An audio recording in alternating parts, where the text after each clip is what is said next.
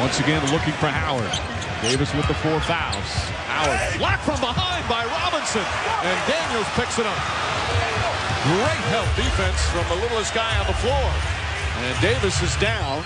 Right now it's four on five. Davis slow to get up. I think Davis is.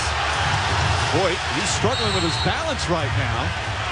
He is shaken up big time. Joe Crawford trying to help out there. Boy, Davis He hit looks a little disoriented. Already taken their 20, so this has to be full.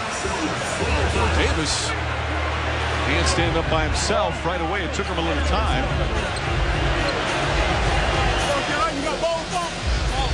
See Doctor out there along with the trainers.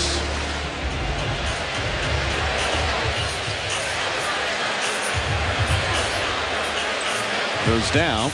Didn't hit his head. But landed funny. They're saying to bring out water. Maybe dehydration. You hope it's only something so simple like that. If he's dehydrated. But right away, you could see it. You saw his eyes. He just looked disoriented. As he couldn't get his balance. Too. Yeah, he was slipping. And he's still down on the floor. Obviously dizzy there. And we'll take a break. As we wind down the third quarter, they attend to Davis here in Orlando. Replay. Watch Dwight Howard and his elbow. Again, this is not intentional. But watch that left elbow come down. A shot right smack in the face.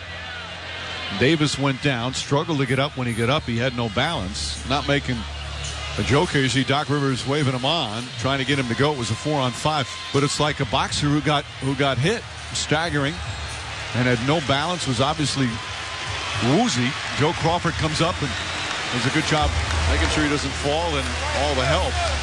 And Wallace finally up off the floor, but clearly shaken up after that hard shot. He just can't imagine a shot from such a strong player like Howard to the face like that.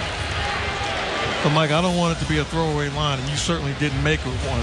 But you got to give credit to Joey Crawford in that situation, realizing that he had a, a guy in trouble and did not allow Glen Davis to hit the floor again. Got in front of him and stop him from falling. I mean, he's coming down as a big 6'11 guy coming down squarely on your face with his elbow.